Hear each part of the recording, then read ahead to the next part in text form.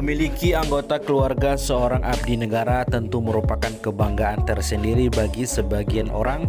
Hal tersebut juga seperti yang dirasakan oleh seorang prajurit satu ini.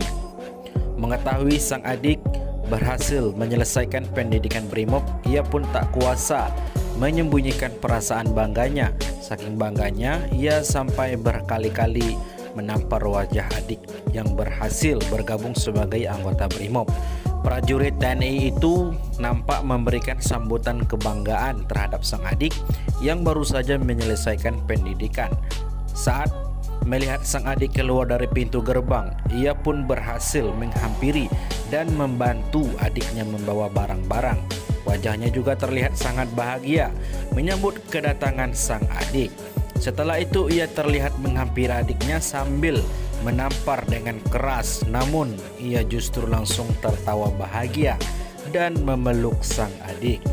Oke, terima kasih buat teman-teman yang sudah mampir di video ini. Jangan lupa kalian like, komen, dan subscribe channel ini. Terima kasih. Wassalamualaikum warahmatullahi wabarakatuh.